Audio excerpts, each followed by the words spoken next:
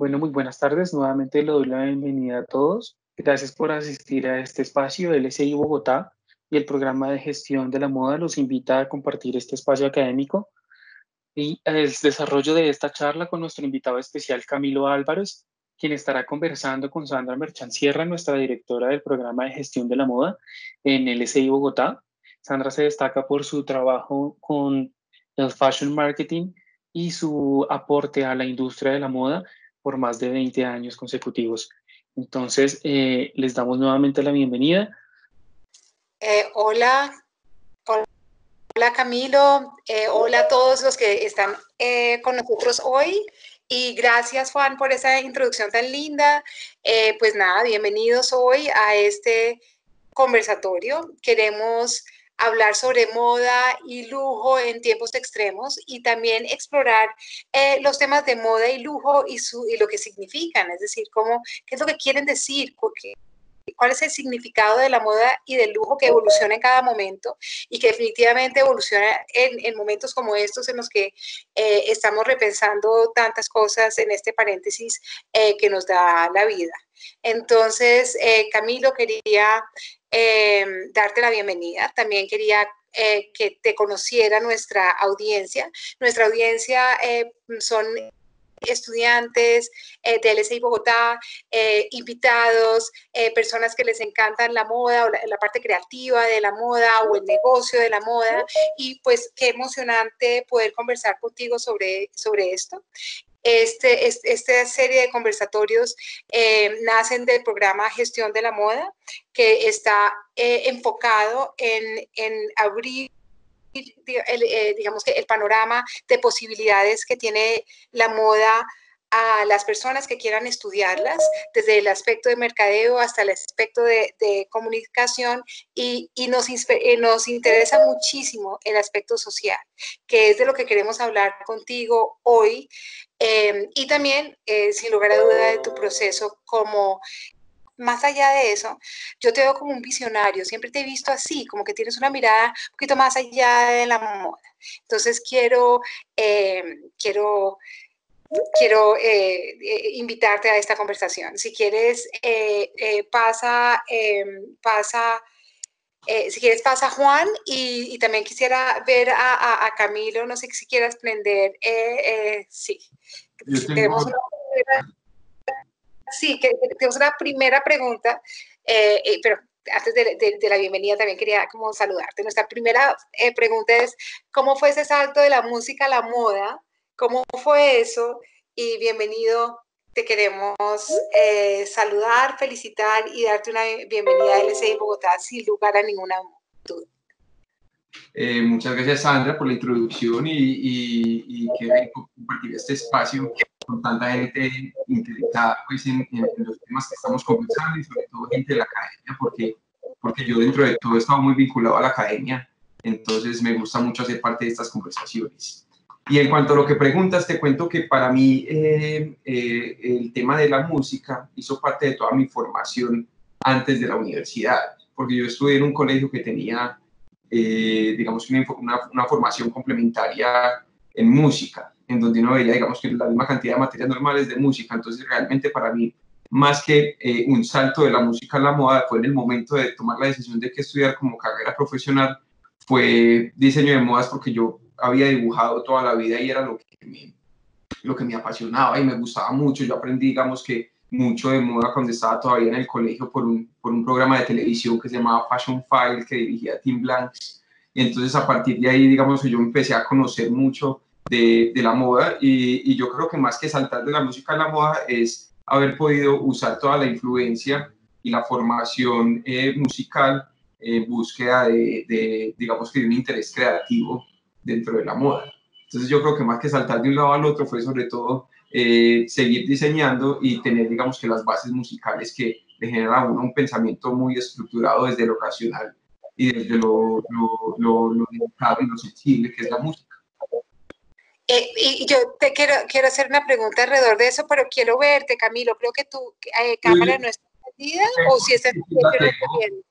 Yo me veo a mí abajo en el cuadro pequeño yo, no lo estoy, viendo, pero bueno, puede ser que, eh, puede ser, puede ser que no te esté viendo, pero bueno. Sí, sí, hay otra forma de, de, hacerlo más grande, me dicen, pero pues no sé cómo... ¿Sí? No sé, no sé. Voy a preguntar, Juan, estamos viendo a Camilo, ¿tú estás viendo a Camilo bien? ¿Lo vemos? Bien, todo el mundo lo ve, perfecto. Eh, gracias a Juan Caraballo. Tenemos una sede en México y todos los estudiantes de México están acá unidos también. Me da mucha felicidad.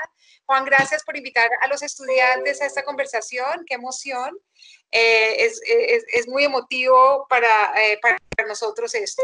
Y por otro lado, te quería eh, preguntar algo, eh, Camilo, es bueno, pero momento, estudiaste qué, eh, qué, qué, aspectos de la música, qué fue lo que te dio esa estructura musical, cómo, cómo, qué, cuéntanos un poquito más de eso.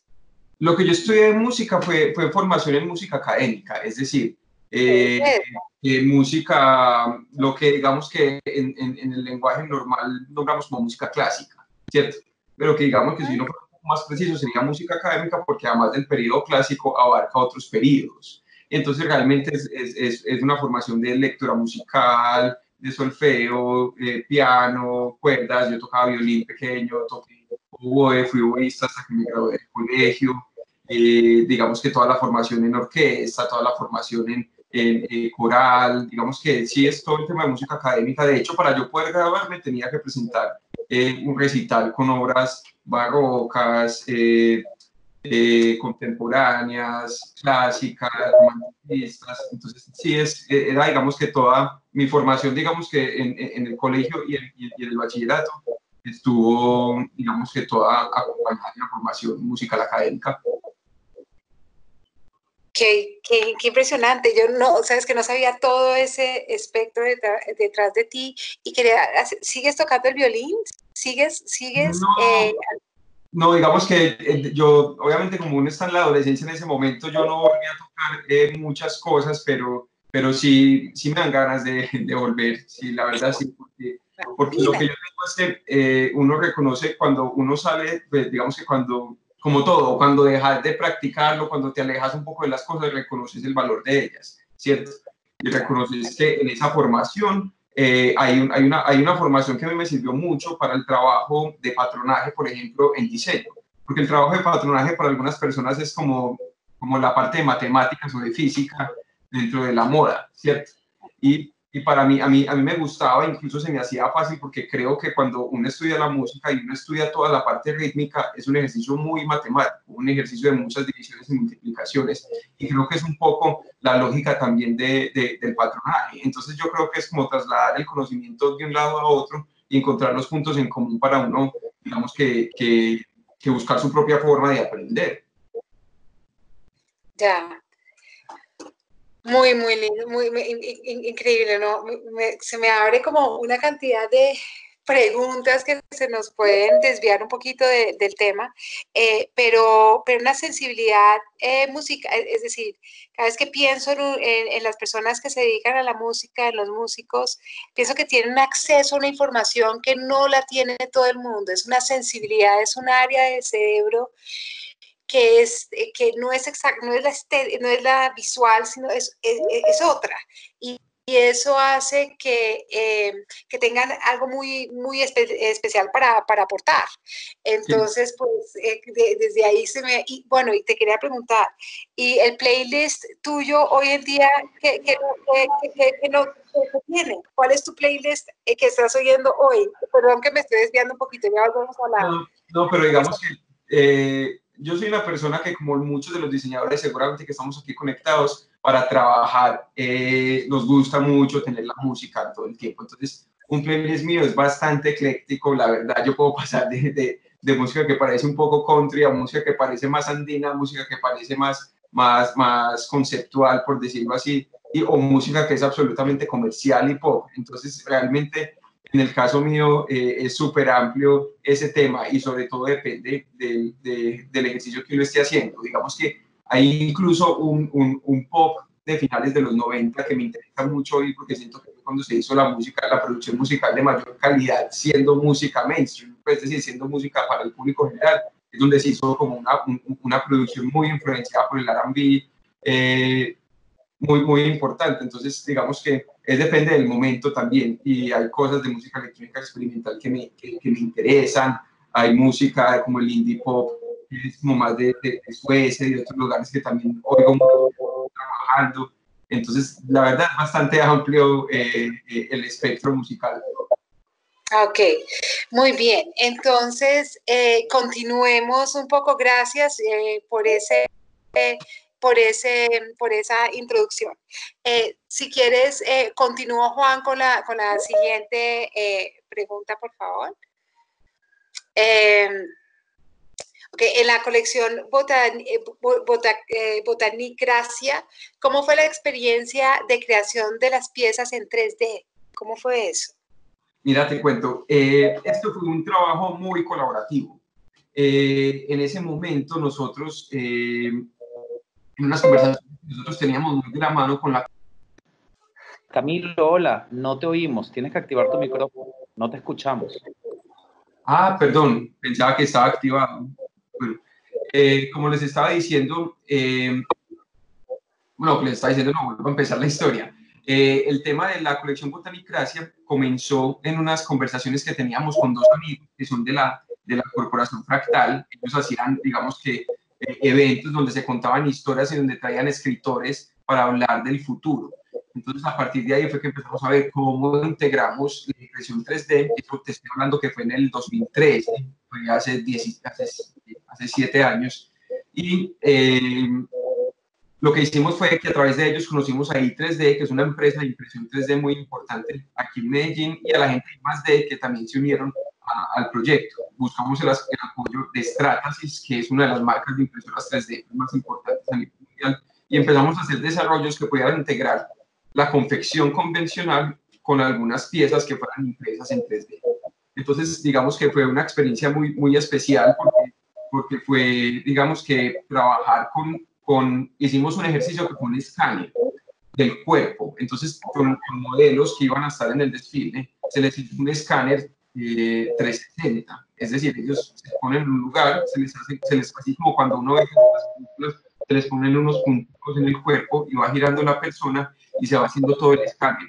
Y después tiene en un, en un, en un programa pues, de, diseño digital en 3D, se tiene el cuerpo de la persona, entonces se puede diseñar sobre medida totalmente en 3D.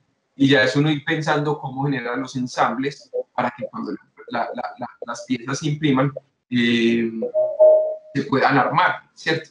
Entonces ese fue, ese fue el ejercicio. Pudimos en ese momento, digamos que había dentro de la tecnología un material biodegradable que era el, el, más común y tuvimos acceso en unas piezas que se imprimieron, creo que fue en Israel, eh, se imprimieron esas piezas que eran eh, transparentes, impresas en 3D. Y, y, un ejercicio muy, muy especial, eh, muy nuevo para todo el equipo y, incluso parte de las piezas llegaron el mismo día del desfile por, por, por las distancias y por la naturaleza del proyecto en sí. Pero fue muy interesante tocar como las, las puertas del 3D y creo que, que en la medida en la que ha pasado, como te digo, es una historia de siete años, se ha, se ha, perfeccionado la tecnología para incluso llegar a tejidos, ¿cierto? Porque parte del desafío que había en ese momento era que lo que se imprimía era, digamos que era sólido, ¿cierto? Que no tenía eh, la, maleabilidad que tiene un textil.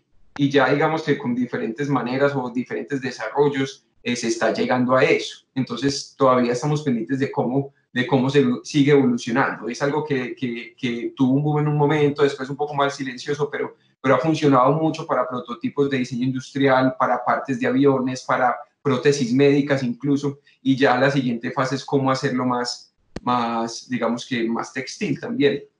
Muy, muy interesante, gracias.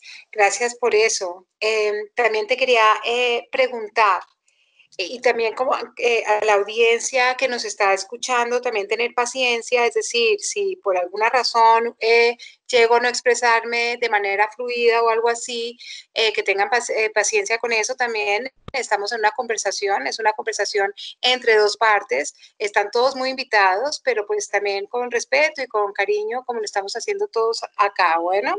Eh, y por otro lado, eh, te quería preguntar, ¿cuál es la inspiración de Camilo Álvarez? ¿Qué te mueve? ¿Qué es lo que hace que, que, empieces a diseñar? Pues realmente para mí la inspiración eh, está en cosas convencionales normalmente.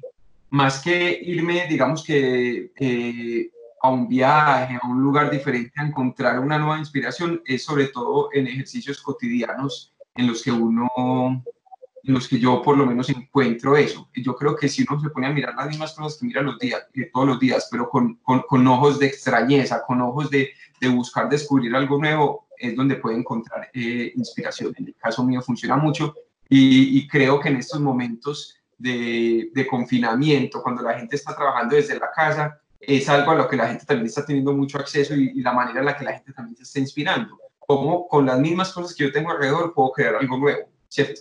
No sé si has visto, por ejemplo, los ejercicios de, lo, de, de los cuadros de los museos, que la gente trata de, recrear un cuadro a partir de elementos eh, domésticos, cosas que tengan en la casa. Eh, también eh, eh, he visto, por ejemplo, porque tengo muchas personas cercanas que son docentes de diseño, entonces cómo se las están arreglando para que las personas propongan nuevas formas de crear mini producciones hechas con elementos de casa. Entonces creo que a mí me inspira mucho eso, cuando uno ve las mismas cosas que ve siempre, pero con ojos diferentes, con ojos de extrañeza. Eh, también te quería eh, hacer una, te quería preguntar, ¿cómo estás viendo la moda en Colombia hoy en día? ¿Qué es lo que estás viendo ahorita también? ¿Qué es lo que te está sorprendiendo? Pues en, en este momento, como te digo, eh, ha sido un, un, año de, digamos que una situación inesperada en la que estamos. Eh, y yo creo que la moda colombiana venía, venía acelerándose bastante. Creo que hay algo que, es, que ya tenemos reconocido desde hace un tiempo y es la cantidad de talento, la cantidad de, de fuentes de inspiración que se encuentran en el país. Y en ese sentido yo creo que nos hemos fortalecido, tenemos figuras que nos representan de manera internacional de una, de, de una forma sólida eh, y tenemos, digamos que un estilo eh, que, que, se ha vuelto muy sólido, ¿cierto? Creo que en este momento un reto importante es cómo eh, ese estilo que, que, refleja mucho la celebración, que refleja la exuberancia de, de los latinos, cómo, cómo, cómo se adapta también a esa necesidad utilitaria que empieza a tener eh, la, la, moda pues bajo estas circunstancias. Pero yo creo que, que, que, algo muy bueno que viene pasando en los últimos años es ese, esa posibilidad de agremiación y de posibilidades que se están generando para la moda colombiana, tanto por el interés que se ha despertado por fuera como por, por la manera en la que están trabajando instituciones como Inex Moda, como la Cámara de Comercio de Bogotá, como todo este, este, este montón de, de de, de, espacios que se abren para que los diseñadores muestren lo que hacen, para que haya intercambios comerciales, para que haya asesorías para crecimiento extranjero. Entonces creo que en este momento eh, veníamos pues, y, y, yo creo que eso se va a sostener cuando digamos que ya, ya, ya, ya, ya se aclare nuevamente el rumbo, eh, así volviendo más sólidos y enfocándonos mucho más en qué puntos podemos crecer. Así como sucedió, y, en este tiempo digamos que estaba hablando principalmente como de marcas de diseñador y diseñadores, pero si tomamos el ejemplo de lo que sucedió con, con los vestidos de baño, desde que marcas como Onda de Mar empezaron a internacionalizarse y digamos que ese modelo que optó, de participación en espacios en el exterior para poder eh, aumentar su presencia en otros países, que hizo Onda de Mar, fue el que un modelo que siguieron marcas después que nos representan ahora internacionalmente como Agua Bendita, como Magi, como Entre Aguas. Entonces creo que eso, eso, eso que sucedió en, en, en en la moda de playa y en los vestidos de baño, es algo que también se está generando con, con el diseño de autor. Entonces, eh, así es como veo en este momento lo que sucede con la moda en Colombia. Yo te, he visto, yo te he visto muy presente en las ferias, eres muy juicioso, muy riguroso. Eh, ¿Cuál es tu experiencia que nos quieras contar sobre esos espacios y la importancia de estos para construir marca, eh, compradores, expandirte? Cuéntanos un poco. Yo creo que en, el caso mío, yo soy de Medellín, tengo la empresa en Medellín y estudié en Medellín, entonces digamos que lo que tenía más cercano eh, es Colombia Moda. Entonces, en ese sentido, para mí Colombia Moda significó el nacimiento de la marca también, porque yo desde que estaba en la universidad eh, presentado proyectos para, para, para convocatorias para estar en el desfile de Colombia Moda, entonces fui, digamos que sumándome a la dinámica y, y, ya cuando tuve mi primer desfile fue gracias a una alianza que tuvo Colombia Moda con, con Latinoamérica Fashion, que, que, que, era, digamos, que unas pasarelas itinerantes que se hacían eh, en diferentes, eh, que se hacían en España, perdón, pero con diferentes diseñadores latinoamericanos y esa vez se trajeron para Medellín y gracias a la invitación que en ese momento me hizo Catherine Villota. Me presenté por primera vez en Colombia Moda de la mano de Latinoamérica Fashion. Entonces ahí comenzó. Entonces yo le debo mucho a las ferias, digamos que ese nivel de exposición para poder haberme dado a conocer. Y ya de acuerdo a la participación en las ferias en sí, también eh, fuimos entendiendo nosotros como empresa eh, las dinámicas de esos espacios comerciales, cuáles funcionan mejor para, para el tipo de marca que somos, cuál es el mejor, digamos que entender cuál es el beneficio para invertir ese beneficio, empezar a, a, a, ver por fuera cuáles son las ferias que, nos, que se acomodan mejor también a eso, porque, porque por ejemplo hay ciertos espacios donde, donde, donde el mecanismo no necesariamente por una marca como nosotros es la feria en sí, sino es la participación a través de showrooms o, o eventos privados, entonces digamos que es todo un camino, es, son unos espacios comerciales que son muy interesantes, en donde hemos aprendido un montón y nosotros nacimos en Colombia Moda y desde entonces no hemos dejado de participar en, en Colombia Moda.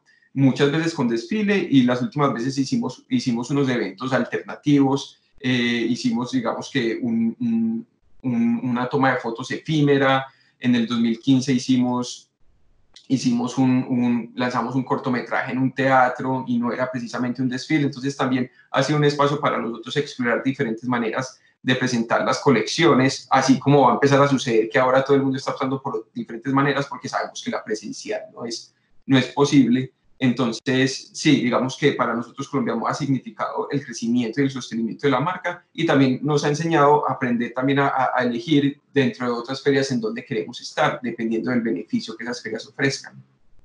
¿Cuál sería entonces el siguiente paso eh, para Camilo Álvarez en ese sentido? En este momento nosotros estamos eh, justo antes de, de, la cuarentena, nosotros eh, tomamos la decisión de hacer un replanteamiento de la marca y estamos trabajando en cuál es esa dirección que queremos, cómo queremos enfocar eh, lo que sucede de Camino al Brasil para Colombia, cómo se quiere enfocar por fuera y estamos precisamente planteando. Entonces, digamos que esta cuarentena eh, coincidió con la pregunta que nosotros ya nos estábamos haciendo.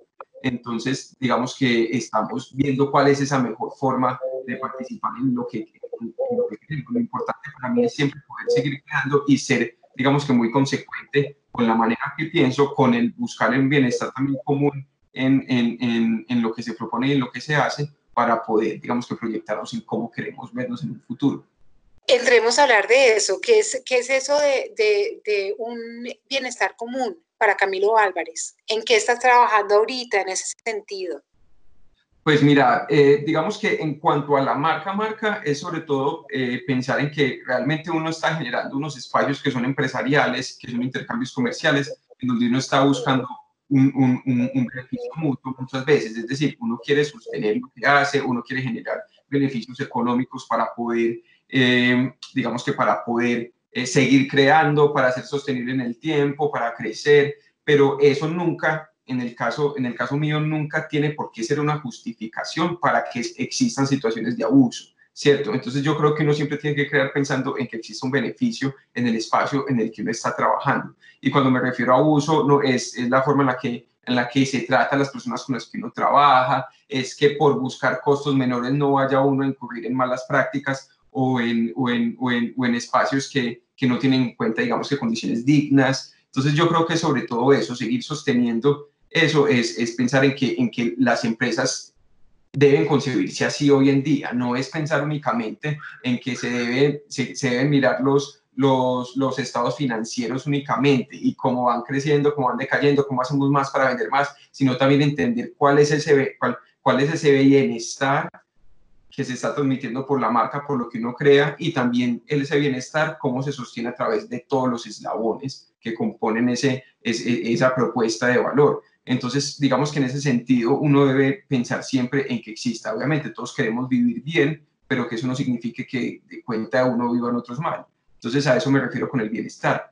Y ya hemos puntualmente asociado a, a esta situación, eh, esta es cuando, cuando fue el inicio de la cuarentena y nosotros no podíamos trabajar, tuvimos también la fortuna de poder comenzar a trabajar cuando todo el mundo estaba confinado. Eh, buscando eh, un, un, bien que iba más allá del propio, que era la elaboración de tapabocas con, con, un propósito exclusivo, era para, para instituciones o personas que estuvieran en un riesgo alto de contagio. y me refiero en el momento en el que todos estábamos confinados y había unas personas que no podían estarlo y que necesitaban tener ese tipo de protección.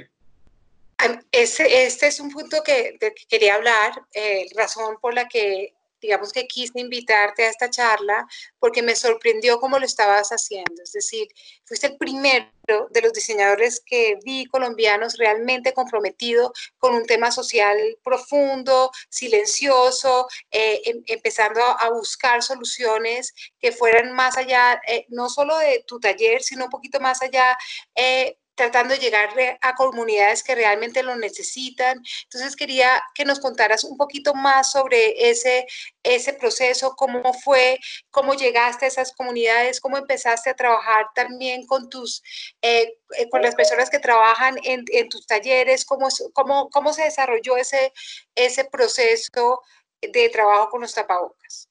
Mira, eh, todo comenzó justo, mira, nosotros particularmente antes de que comenzara el, el, aislamiento preventivo obligatorio, nosotros ya habíamos salido como unos cinco días antes, porque tomamos la decisión en la empresa cuando sentimos que había como un ambiente eh, de, de, cuidado, decidimos salir antes y ya después hubo el anuncio que ya era obligatorio. Entonces, digamos que nosotros ya llevábamos un par de semanas eh, sin trabajar y eh, supimos por medio de una prima que trabaja en el sector de la salud, de la necesidad de un hospital de abastecimiento de tapabocas eh, eh, reutilizables en tela antifluido. Entonces, a partir de ahí, decimos, mi prima empezó a conseguir eh, donaciones para textiles. Entonces, yo hablé con ella y le dije, nosotros, y nos reunimos en la empresa también los socios y conversamos y decidimos buscar la manera de poder confeccionarlos, ¿cierto? Entonces lo que hicimos fue generar un sistema de que la gente pudiera donar el costo de un tapabocas, nosotros encargarnos de la producción del tapabocas y también encargarnos de entregarlo a, como te lo decía, a personas que tuvieran esa primera necesidad, porque estaban en un, en un riesgo mayor de, de contacto. Entonces, de contagio, perdón, del COVID-19. Entonces se, elaboraron los primeros tapabocas, se entregaron al hospital de Medellín y la gente siguió interesada en querer sumarse a la iniciativa. Entonces lo que hicimos fue buscar más lugares que estuvieran necesitando y muchos lugares aparecían también de manera espontánea. Entonces, por ejemplo, un hospital psiquiátrico del centro de Medellín, una, una digamos que una, una asociación que trabaja por la Comuna 6 de Medellín, eh, también eh, supimos eh, Closet Store, que es una tienda, una boutique que distribuye productos nuestros en Cali. Eh, le gustó también la iniciativa y se quiso sumar y encargó también unos mil tapabocas que fueron entregados a la seccional de salud de Cali. Entonces se les daba a personas como conductores de, de medios de transporte, agentes de tránsito, policías que también estaban, digamos que tenían que seguir trabajando y estaban, digamos, en ese riesgo de contagio. Apareció una necesidad muy grande en, en Quibdó, apareció también una necesidad importante en Nuquí, también en Chocó, también eh, por medio de Andrea Landa supimos de, de, una necesidad en Tumaco, entonces digamos que eso fue, fue, fue sumándose y creciendo poco a poco. Y la satisfacción era que nosotros podíamos estar trabajando en ese momento. Y, y, la, y, lo que hicimos fue cuando se desarrolló el primer prototipo para ser aprobado por los médicos, eh, contactamos a las personas de, del equipo entonces éramos pocos, lo que nos permitía mantener distancias y tener un protocolo de seguridad, pero todo el que iba a la empresa a trabajar, como te digo, no éramos muchos, pero estaban muy contentos de que, el que primero que pudieran seguir trabajando y segundo que, que, que el trabajo de ellos significara eh, bienestar para, para, otras personas. Entonces sí fue muy satisfactorio y cuando la gente se le, se le invitó a que, a, a que donara, que hiciera parte de la iniciativa, la respuesta fue muy positiva. La gente se animó mucho y digamos que de, fue, fue, fue, una demostración de generosidad eh, muy importante. Y este ejercicio continúa. Eh, ahora lo sigues eh, haciendo. ¿A dónde estás distribuyendo ahorita? Eh, ¿Cuál es tu foco, el foco que sigue? ¿Cómo te podemos colaborar los que estén interesados? Por sí. favor, déjanos saber las personas que estén interesadas en donar en estos sitios que te mencioné, nosotros enviamos, pero hay muchos que todavía siguen teniendo la necesidad, sobre todo en el caso de, de Chocó, y también se ha presentado porque también por medio de, de, de, de Arcano supimos de la necesidad de un grupo de mujeres indígenas que estaban en la ciudad, que por diferentes motivos como desplazamiento, porque se encontraban en la ciudad por motivos comerciales, no tenían posibilidades de volver a, a a, sus comunidades, entonces también tenían la necesidad de, tapabocas porque estaban viviendo con muchas personas a la vez. Entonces, eh, en ese caso también se nos ha presentado una solicitud muy grande y también al parecer en el Amazonas están necesitando y tenemos cómo poder llegar a esas comunidades a través de diferentes contactos. Entonces, quien quiera sumarse, eh, ahora puede dejar aquí por el chat eh, la cuenta de ahorros y únicamente con, con el aporte de lo que cuenta, de, lo que, de lo que cuesta un tapabocas se puede unir a la causa, que son 1.850 pesos. Es decir, entonces, eh, digamos que a partir de eso la, gente puede unirse y nosotros podemos responsabilizarnos de hacer llegar eso a, a, quien lo necesite. Y cuando se entrega, que es otra garantía importante, se le dice a, a, las personas que lo están recibiendo cuál es el cuidado que deben tener, para que todos lo sepan, si están usando tapabocas textiles en antifluidos y lo usan por tiempo prolongado, ese tiempo no puede ser más de 6 u 8 horas y en ese momento debe lavarse con abundante agua y jabón, se seca rápido y ya después puede seguir usándose. Entonces, para que siga funcionando como un mecanismo de protección, esa es la, eh, esa es la manera de, de, de, conservarlo y se recomienda pues que se use así unas, unas 50 lavadas, digamos, que tienen las propiedades eh, intactas, ¿cierto? Por unas 50 lavadas, que ese sería como, el uso máximo del tapabocas. Y eso le estamos diciendo a las personas que lo estamos entregando también para que sea responsable el uso, ¿cierto? Porque no sirve de nada que todos llevemos tapabocas en la calle, pero lo pongamos en el mentón y dejemos la, la nariz descubierta. Entonces sí es importante hacer énfasis en cómo debe usarse. ¿Y cómo ha sido la reacción? ¿Has tenido alguna reacción de las personas eh, que recibe, de, las que reciben la donación? ¿Cómo ha sido el, el recibimiento de las comunidades? Eh, ¿Cómo ha sido eso? ¿Ya, ya han aprendido mejor eh, a usarlo? ¿Tienes otros que se estén aliando contigo? Y quería saber acá, ¿tienes la cuenta? Me gustaría ver la cuenta de cobro, eh, la, cuenta, la cuenta aquí para que puedan consignar en, sí, ya, ya, y están interesados. Sí, claro, ya, ya mismo. Todos nos unamos a, a, ayudar y colaborar. Ya te, ya te, escribo por aquí, te escribo la, la, la cuenta. La cuenta, acá lo estoy escribiendo.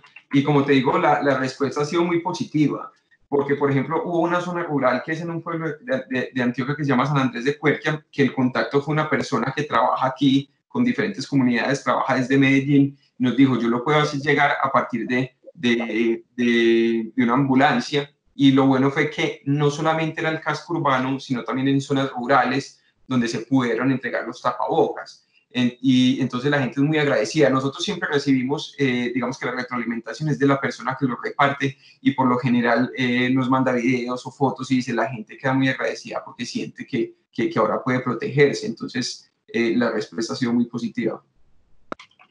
Me acuerdo que cuando estaba hablando contigo me estabas diciendo que estabas tratando de llegar a Nuquí, que no se podía, que era, no era tan fácil y por fin lo lograste, así que no es, no es tan fácil llegar a estas zonas de Colombia en estos momentos. Gracias por compartir esa cuenta de ahorros de Bancolombia eh, para poder, eh, sí, eh, eh, apoyar.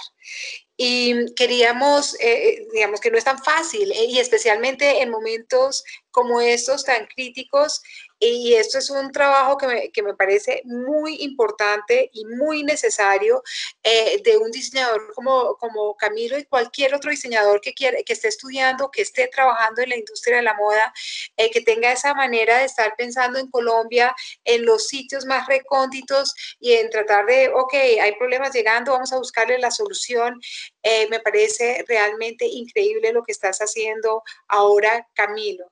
Y tenía otra pregunta para ti es, ¿cómo, cómo piensas que se va a reinventar eh, la moda a partir de esto? ¿Cómo lo ves? ¿Qué, qué, eh, ¿qué va a pasar con Camilo Álvarez post pandemia, durante pandemia? ¿Cómo lo ves? ¿Qué va a pasar? Mira, en el, en el, te voy a hablar desde dos perspectivas por un lado, eh, yo hago parte también de los, de los grupos de macrotendencias de Inex Moda y nosotros leemos diferente información y compartimos y estamos, digamos, informándonos. Y si en algo coinciden tantas, tanta información que está surgiendo ahora, que es, de hecho es un poco abrumadora la cantidad de información, pero si en algo la gente coincide o los pronosticadores coinciden, es que más que un cambio o, un giro, como un giro, digamos, como muy drástico del rumbo, si va a ser una aceleración de ciertas tendencias que se veían formando. Es decir, la, la tendencia de, de, un consumo muy consciente, la tendencia de un consumo muy utilitario, por otro lado, o, o digamos que la desaceleración de ciertos ciclos, era algo que la gente ya estaba sintiendo que estaba llegando a un punto de saturación. Entonces, digamos que ya se empezaron a generar gestos de bajarle el ritmo a eso y justo llega eh, este momento histórico con una pandemia y todo lo que sucede es acelerar un poco eso, como que se frenan las cosas por un momento, pero dentro de todo lo que se hace es acelerar esos cambios que se venían empezando a gestar. Entonces, digamos que eh, ese es el panorama y en cuanto a nosotros como marca, hemos tomado una decisión que surgió de una manera eh, orgánica, de una manera espontánea, y es empezar a, a, trabajar de una manera más colaborativa, pensar más en colectivo y no tanto en competencia. ¿Y cómo sucedió esto? Nosotros cuando, cuando estábamos comenzando la cuarentena, hubo diferentes colegas diseñadores que empezaron a crear grupos en donde nos incluyeron y, y, dentro de estos grupos, pues, obviamente lo que uno hace es, hey, ¿cómo te está yendo? ¿Cómo estás haciendo para pagar tu nómina? ¿Cómo estás haciendo para, para si, si no podemos producir, cómo estamos haciendo? Entonces, dentro de, estas, dentro de este ambiente de incertidumbre, hubo una iniciativa en donde diferentes marcas, incluso Felipe Espinosa, que ahorita estaba por aquí también de 302, hace parte, nos juntamos varios y generamos un colectivo que se llama PAL, que es Proyecto de Apoyo Local. Entonces lo que hicimos era sobre todo como si tenemos algo que, que, juntos creamos, eh, que cada uno tiene diferentes marcas y tenemos todo esto, primero unámonos es porque todos queremos seguir siendo responsables con nuestras obligaciones como empresarios, queremos seguir generándole bienestar a tantas personas, familias, comunidades que hacen parte de la producción de todo lo que nosotros creamos, entonces incentivemos el, el, el, la compra local. Y si nosotros nos unimos, si somos inicialmente, esto se generó, como te digo, de una manera muy espontánea. Entonces, si en, en esa espontaneidad nos juntamos 13 personas eh, o 13 marcas, porque son muchas personas detrás de cada una de las marcas, eh, todos juntos podemos hacer mucha fuerza para que sean muchos los que compren más local, porque creo que en este momento es muy importante cuidar la casa, porque todos estamos desde casa, pero pensar también que Colombia es nuestra casa y debemos cuidar la economía de todos, debemos cuidar el bienestar de todos. Entonces, ese fue el objetivo por el que nosotros nos reunimos. Y ahora eh, lo que estamos haciendo, esas, eh, esas 13 marcas, es pensar que nos reunimos por algo circunstancial, por algo que estaba pasando en el momento. Buscamos apoyo, buscamos, generamos un catálogo con todas las, con, con, productos seleccionados de cada marca. Hicimos un evento especial de madres en las redes para que la gente pudiera tener descuentos si compraba, si tenía compras cruzadas y podía, digamos, que acceder a diferentes marcas. Entonces, a través de, de, de todos los colegas, multiplicamos los clientes de cada uno, simplemente con comunicar que los otros existían. Entonces, todo esto se generó y nos sentamos a pensar y justo fue hace poco como esto no es solamente algo circunstancial, esto es algo que tenemos la necesidad de hacerlo, tenemos la necesidad de fortalecerlo y es seguir trabajando juntos, porque tenemos mucho potencial si nos juntamos, porque todos somos empresas que por lo general somos pequeñas, somos empresas que no tienen un número grande de, de empleados, pero tienen, un, pero tienen un potencial muy grande y si nos reunimos todos podemos, digamos que jalar para el mismo lado, podemos navegar para el mismo lado. Entonces todas estas marcas que, son Tigre de Salón, Religare, más de Manuela Álvarez, Andrea Landa, Andrés Pajón, May Petit, Aisha Bilgrami, Taller Sin Borde, Olga Piedraíta, Daniel Lafuril, Lugo Lugo, 302 de Felipe Espinosa y nosotros, eh, todos juntos, digamos que tenemos una fuerza muy importante. Aquí dije nombres con mucha trayectoria como el de Olga Piedraíta marcas que son mucho más nuevas como, como, como Religare y todos tenemos una sensibilidad, todos estamos muy sintonizados en que si trabajamos juntos va a ser mucho mejor. Entonces, si me preguntas por el futuro de nosotros, es pensar mucho en colectivo y pensar que ese bienestar se genera en colectivo y que juntos somos mucho más fuertes. Ahí también me preguntas que cómo, que cómo podemos ayudar.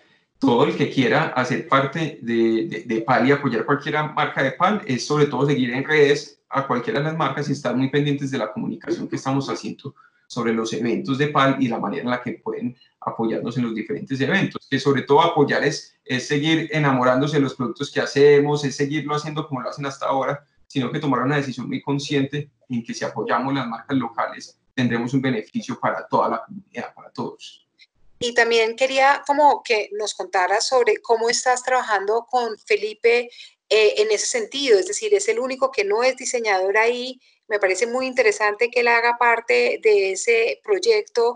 Eh, están generando eventos de alguna manera. ¿Cómo es que se está logrando? Súper del Día de las Madres, están generando otros espacios. ¿Qué está pasando en ese sentido? Mira, eh, yo no sé si tú te acuerdas, Sandra, pero nosotros nos conocimos hace muchos años. nos conocemos hace muchos años, claro que me acuerdo, claro que sí. Es que tengo una memoria, como para ciertas cosas tengo una memoria muy precisa, yo te puedo asegurar que fue hace por ahí unos más de 15 años, y, tú sabes que, que, que, trabajaste en, en, publicaciones, que trabajaste en producción, digamos que trabajaste en todo ese tras escena de lo que significa la moda tú sabes muy bien que para todo lo que sale afuera existe un, un, necesitamos cabezas que piensen de una manera eh, eh, ordenada, que, que, traten de organizar tantas mentes creativas, que sepan proyectar eso. Y eso ha sido Felipe en todo eso. Ha sido una persona que nos ha organizado la manera en la que, en la que nosotros digamos que, que, podemos empezar a generar ese mensaje y en este momento es una pieza clave para lo que va a suceder después. Entonces yo creo que lo interesante del proyecto es que no solamente es la generación de eh, eh, es las marcas con los productos que hacen, sino también que, que, implica eh, otros elementos que hacen parte de la cadena de la moda, porque digamos que conversando con diferentes productores y personas siempre nos dicen,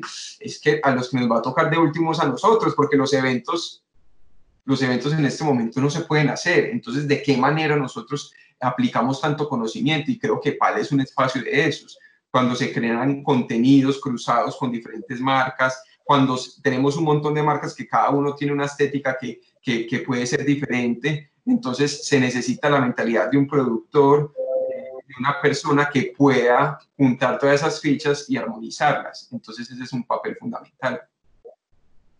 Por eso te pregunté por Felipe. Felipe es, era colega mío, es decir, los dos fuimos editores de moda, movimos los, eh, la fotografía de moda y los editoriales de moda en Colombia de una manera importante. Y, y, me parece importantísimo que haga parte de ese equipo y me, me, alegra mucho que te acuerdes. Y yo también te recuerdo muchísimo en esos momentos porque siempre estaba mirando talentos, siempre estaba buscando esos talentos. Y quién tenía esa mirada, como esa mirada, esa sensibilidad, quién estaba mirando de una manera diferente la moda. Y me parece que tú eres eras esa persona, por eso me trataba de acercar em, y, y, lo reafirmo ahorita, lo reafirmo cuando hablé contigo, cuando vi el proyecto que estabas haciendo desde tu taller para llegarle a la comunidad. Eso todo eh, reafirma mi visión original sobre lo que es eh, Camilo Álvarez. Camilo, ¿qué opinas? Em, primero quisiera saber eh, si queremos ver alguna de las preguntas de, las personas que están acá con nosotros. También quiero compartir tu, eh, tu Instagram para las personas que no lo conozcan, te sigan, porque queremos apoyar, queremos... ah, bueno, acá está el Instagram de, de Camilo. Eh, queremos abrir las preguntas del público y eh, también queremos invitarlos a apoyar eh, las, las causas de Camilo y de, y de la sociedad y, de, y, de, Colombia y también pensar como está pensando Camilo, Camilo, que es en colectividad. Así debe ser y si nosotros podemos ayudar desde LCI Bogotá o aportar de alguna manera, cuenta con nosotros para PAL, aquí estaremos. Entonces, eh, no sé si, pero imagínate, acá, acá, pero totalmente. Y em, acá hay una pregunta eh, de que Eduardo que dice, uy, perdón, ¿cómo empezar? Uy, me llegó un, espérate que me llegó algo y no lo puedo ver. ¿Cómo, Yo creo que... en la moda, ¿quién te influenció? Hay alguien que tiene, perdón, un momento, hay alguien que tiene el... El micrófono abierto. Un micrófono abierto para poder continuar, si nos pueden ayudar eh, apagando los micrófonos para que la, la comunicación esté limpia. Y acá vamos a, a, a, ténganos paciencia también con las preguntas, vamos a hacerlas y de hecho con todo. Eh, ¿Cómo empezaste en la moda? ¿Quién te influenció? Ese es de Kenneth Eduardo Suárez. Bueno, esa, esa, esa historia es, es, un poquito larga, pero puedo resumirla un poco. Yo empecé principalmente dibujando. Yo cuando estaba estudiando, yo dibujaba eh, figurines y a partir de ahí, digamos que fui, fui mostrando mi trabajo a diferentes personas. Eh, tuve publicaciones que se acercaron y hice situaciones para publicaciones eh, físicas, digitales, también para otros diseñadores, para instituciones. Esa fue como la manera en la que yo inicié y a partir de ahí y de, también del trabajo en la colegiatura y de la exposición que tuve en la colegiatura con las pasarelas en Colombia Moda fue que me di a conocer. Y la inspiración mía, digamos que es bastante ecléctica porque en ese momento sobre todo a mí me interesaba mucho, eh, digamos que una parte muy urbana que venía mucho como de la comunicación incluso que tuvo Calvin Klein en los 90, combinado un poco con, con, con una visión más trascendental como la de Rey Kawakubo, la de Comte de Garzón. Entonces, digamos que tenía, tenía influencias muy extremas y también había parte incluso no de Chanel la marca, sino de Gabriel Chanel el personaje, que también, que también me influenciaba, al igual que otros diseñadores que están haciendo trabajo en, en, Latinoamérica. Entonces, digamos que es bastante ecléctica y también me, había una influencia importante de Margiela. Me interesaba mucho, sobre todo cuando estaba estudiando y cuando estaba empezando, el trabajo de Margiela para mí era, era, era fundamental, pues en, en estarlo observando para aprender de él. no, no, no hubiéramos podido conversar un poco sobre Margiela en algún momento dado, pero bueno, las preguntas vienen del público y acá viene otra de Luisa Vega que dice, ¿qué le dirías? Esta me parece bellísima. ¿Qué le dirías a un emprendedor que apenas está empezando para que no se desanime de continuar? Eso le puede pasar a cualquier persona, eso es lo más Claro, y, digamos que dentro de todo se requiere una inversión, inversión, de energía, inversión de, recursos. Yo creo que eh, hay algo, yo pienso sobre todo que los consejos que yo pueda dar es sobre todo por cosas que me he equivocado, ¿cierto? Más que por cosas que no muchas veces haya aplicado. Y si yo me pongo a comparar, eh, yo realmente si uno se ponía a ver, yo comencé la marca en el 2007, 2008, estamos hablando de hace 12 años, eh, y aunque parezca que no son tantos, digamos que en esos dos años ha pasado de todo. Yo estoy hablando que yo empecé la marca cuando estaba empezando Facebook, pues es decir, ha pasado muchas cosas, ha pasado, digamos que la digitalización de muchos elementos, se ha fortalecido el comercio virtual, entonces nosotros en un inicio teníamos acceso a información, sí, porque el Internet pues obviamente ya era un hecho, pero yo creo que ahora hay mucho acceso a, a capacitaciones, a cómo ser empresario, incluso institucionalmente existe mucho fortalecimiento para esas personas que quieren empezar. Entonces yo, mi consejo que yo le daría es escuche todo lo que tienen para decirle, pero sobre todo filtre a través del instinto y lo que la persona considere que es su forma de hacer las cosas para que tome la decisión de qué aplica de toda esa información. Porque si antes el problema era que la información no era tanta, ahora diría yo que, que, que el problema es que la información es tanta, tanta, tanta que muchas veces uno se distrae entonces es muy importante uno mantenerse enfocado en cuál es el motivo por el cual uno decidió volverse emprendedor, volverse empresario, volverse diseñador y conservar ese espíritu, conservar eso, porque realmente eso es lo que le motiva a uno todo el tiempo a seguir creciendo. Entonces, si uno tiene eso claro, uno se enfoca en eso y sabe que todo lo otro que llegue, si le suma eso que uno está creyendo, lo aplica y si no, no pasa nada. Es un buen consejo y se le presta atención, pero uno decide qué aplica. Porque hay algo muy importante, es que cuando uno se traza un camino, es importante uno ir por ese camino y no estarse distrayendo tanto por todo lo que sucede con el vecino, porque aquel resultó con más likes, porque aquel resultó teniendo una prosperó en menos tiempo que la mía. Entonces, no, siga su camino y sobre todo convénzase que la manera en la que usted lo está haciendo, la manera en la que usted decidió hacer las cosas está bien, su manera está bien. No necesitamos ser expertos para empezar a andar, porque el ser experto se consigue con ir andando. Entonces yo, yo, diría sobre todo eso, es como creer mucho en el camino que uno se traza y no distraerse con tanto ruido que genera. Y yo creo que todos nos hemos dado cuenta en esta cuarentena con tanta información y con tanto volumen de información, que si uno se pone a verla toda, pues a qué horas hace lo de uno, ¿cierto? Entonces sobre todo es eso, concentrarse en lo que uno va, prestar atención a los consejos está muy bien, pero sobre todo filtrarlos y siempre poner de primero la intuición de uno, la decisión de uno y la forma de hacer las cosas de uno. A mí, muchas gracias, me parece importantísimo. Por ejemplo, ahora estamos hablando de moda, estamos hablando de lujo, pero también como estamos hablando de ¿qué es el lujo? ¿Qué es el lujo? Entonces, ¿y qué es la moda? Entonces, hoy en día estamos hablando y nos dice, nos cuenta Camilo que de pronto eh, el mayor lujo para él en este momento y para la e, es, es, es, poderle mandar a las personas de una comunidad que lo necesitan un tapabocas. Así que los valores van cambiando. Y qué otra cosa también es interesante ahorita, el sentido de trabajar de manera comunitaria, de manera social, de ver cómo entre todos nos podemos ayudar y aportar desde, industria, desde la industria eh, para, para salir fortalecidos de esto, pero no solo para salir fortalecidos, sino para, aprender a, a trabajar en comunidad eso me parece una de las cosas más interesantes y más importantes. De hecho, estos espacios no los estábamos abriendo. Estos, estos espacios eh, hubieran tenido que venir a LSI Bogotá, me hubiera tenido que traerte desde Medellín.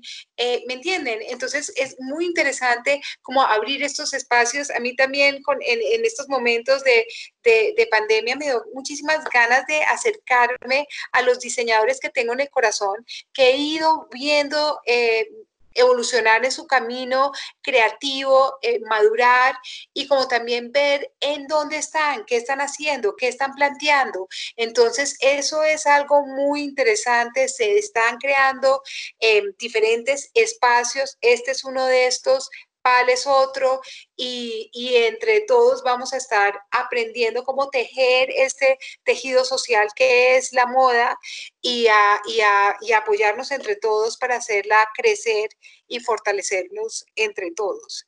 Em, no sé si hay otra eh, pregunta que vean por ahí eh, que te llame la atención. Acá hay una linda, acaba de entrar pero es que necesito que se salga, es que, eh, pero sabes que es, que me llegan los, me llegan los, los mensajes y no puedo verlas. Entonces, perdón, pero es que me, las tapan todas con los mensajes, perdón. Entonces, espérate un momento que me toca bajarlas un poquito. Eh, acá es la música y la moda en tu marca, cómo se percibe en tu quehacer como diseñador. Está más esta es linda, está más interno o externo o es perceptible al sujeto. Sarita, gracias. La música y la moda.